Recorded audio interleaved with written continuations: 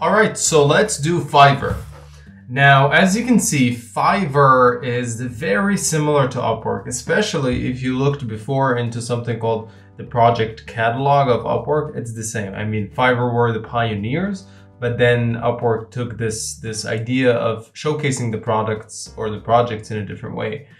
Um, as far as I know, I've heard that Fiverr started with a concept of five dollars. That's why it's called Fiverr, which is any service for five dollars. Like for example, I will eat a burger in 10 seconds for $5. This is how it started. It started as a funny sort of website and it evolved into this giant.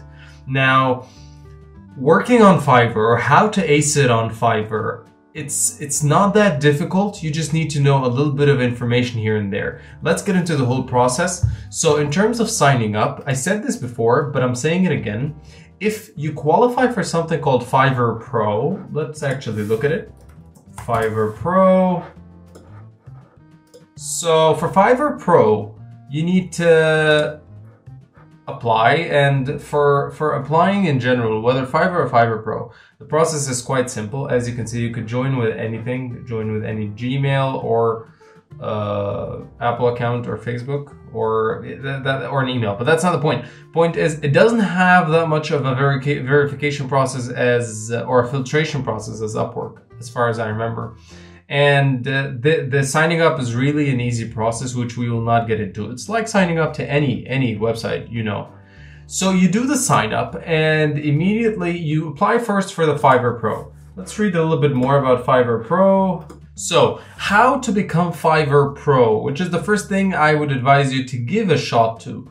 Um, as you can see from the link, which is a support ticket on Fiverr Pro, you can become pro in these categories. I was in writing and translation, business writing. So there are things under these categories that you can qualify for. So it's not just graphic and design. That means you have to be a graphic designer. No, you could be an architectural designer, you know, or any sort of designer that falls under these categories.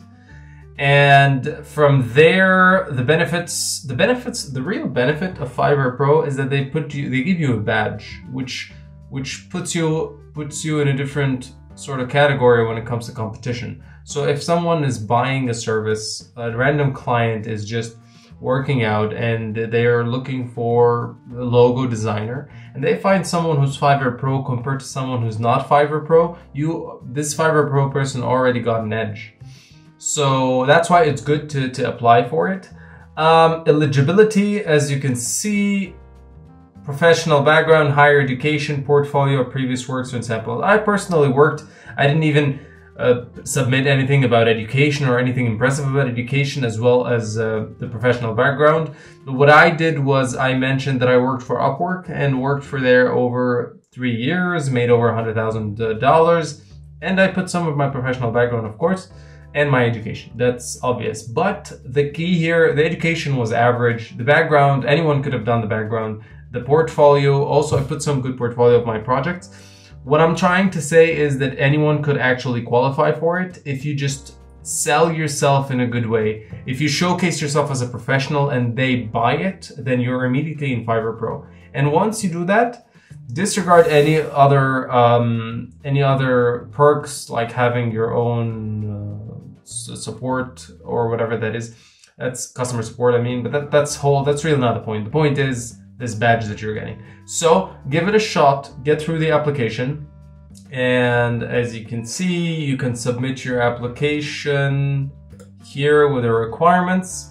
And once you do that, you'll see that uh, you have to log into Fiverr first. So you have to create a normal account and then you can start the application. It's long, but it's worth it. All right. So that's the first thing. Let's say you're not Fiverr Pro. Let's say you're normal, you're a normal Fiverr uh, seller, which is not that different, but uh, this is how it's gonna look like. You always have a Fiverr buyer and seller as far as I know, and uh, these are, for example, I earned in September $1,200, not bad. And this is the dashboard that you see, and for example, these are my gigs which which tells you a little bit of information about them. I created five gigs and there are two pending approval. They're taking quite a long time, which is normal. Uh, I think I'm allowed up to 10. I have no idea how much I'm allowed up to, but these were more than enough for me. And the the concept of uh, concept of Fiverr. Okay, so let's get into how to really ace it on Fiverr. To ace it on Fiverr, you have to look from a buyer's perspective. So I'm gonna switch to buying. And when I switch to buying, and look into logo design. That's the easiest thing. Like, let's say I want a minimalist logo. And then you'll see automatically that Fiverr puts some people, or there are a lot of people. You could be there in time. That's not a problem. Or Fiverr could want to push your product. However, what matters here, as you can see, it's not Jackie Balboa. It's the logo they designed. They always showcase it like this. And most of the time, these things are very are very conventional. I've seen this, for example, template of putting some putting some logo on a on a mock-up like that. It's it's just that's not there's nothing special about it. I've seen this a lot of times. You've probably seen it also a lot of times. Similarly, this is also similar and it's not really what I would be looking for. However, they have a lot of sales, so it works for them. But if you really want to stand out, put something different. I like this guy, for example. I mean, the first picture at least. This I hate because it's a very famous mockup. Uh, what I did is I put myself a video. So if I look at my gig,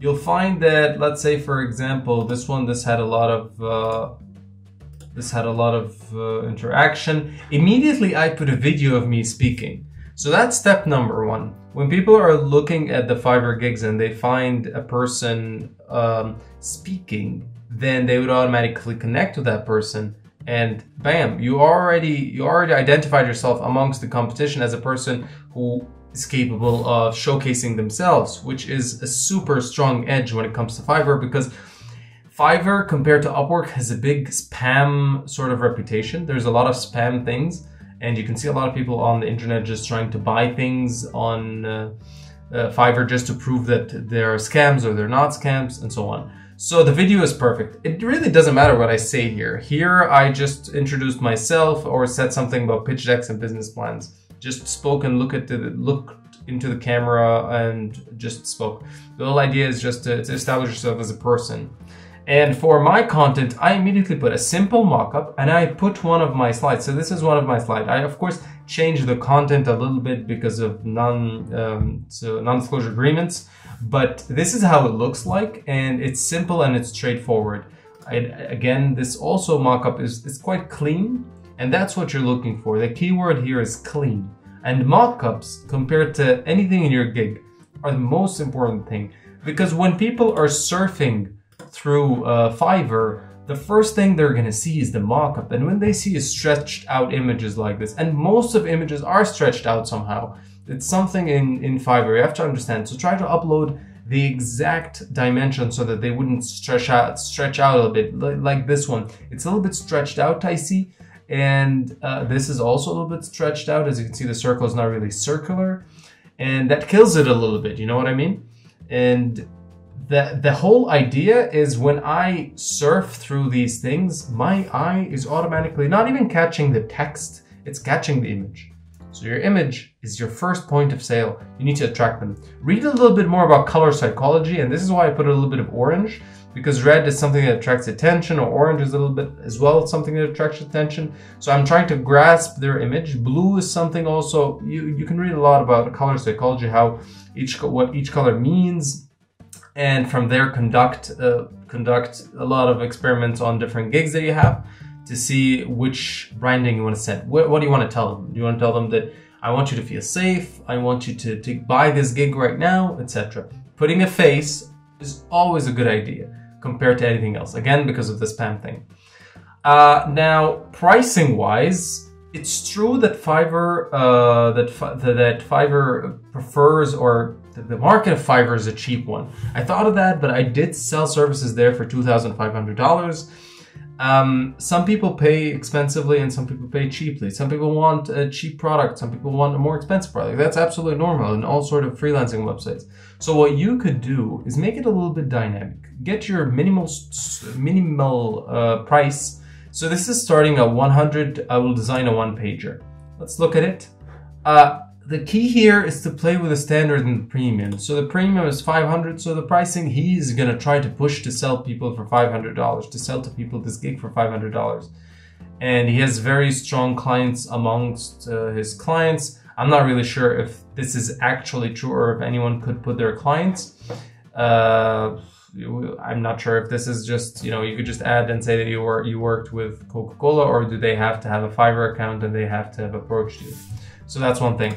At pricing wise, if you start with 100, that's okay. If you start with, I sometimes, some of my gigs started with 300, some of my gigs started with 500, some of them started with more, with a thousand. So it's really depending on your niche, which you're gonna choose, and accordingly, you're gonna put the pricing.